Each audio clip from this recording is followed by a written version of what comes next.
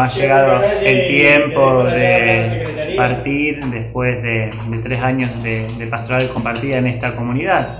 La verdad que para mí ha sido un tiempo de gracia, de regalo que el Señor eh, me ha permitido. Eh, venir como seminarista, culminando el seminario y después, bueno, compartir el tiempo de consagración junto a ustedes, el, el orden diaconal y también el orden presbiteral, ¿sí? Así que para mí fueron los primeros pasos como consagrado acá.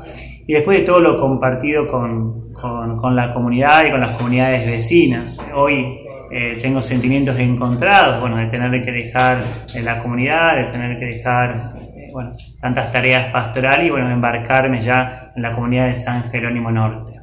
¿Vas a continuar viniendo aquí a nuestra ciudad? Por ahí muchos te lo deben estar preguntando si vas a venir de visita, si vas a continuar con algunos eh, trabajos aquí en la comunidad San Carlina.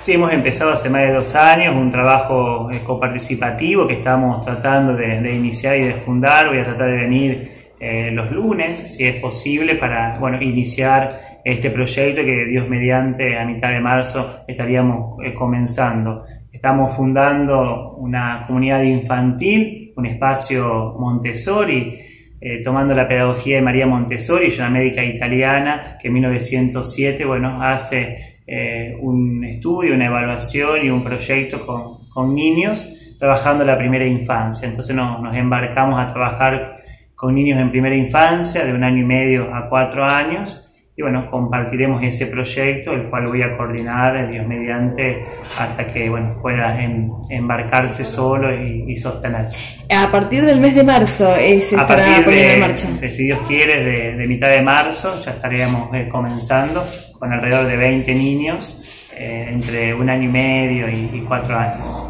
¿Todos de aquí, de la localidad? Todos de la localidad de, de San Carlos Centro.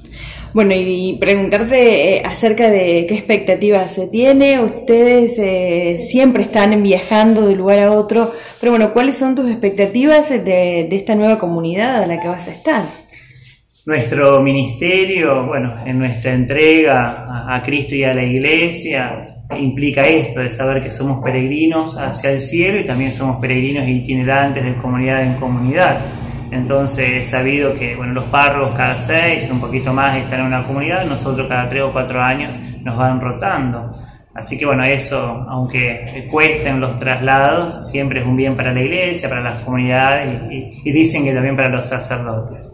Por eso, bueno, embarcarme en San Jerónimo Norte con la misma expectativa que tuve aquí, siempre, como dice Francisco, de compartir la alegría del Evangelio el encuentro con los demás sea siempre desde Cristo, para que Cristo transforme nuestros corazones.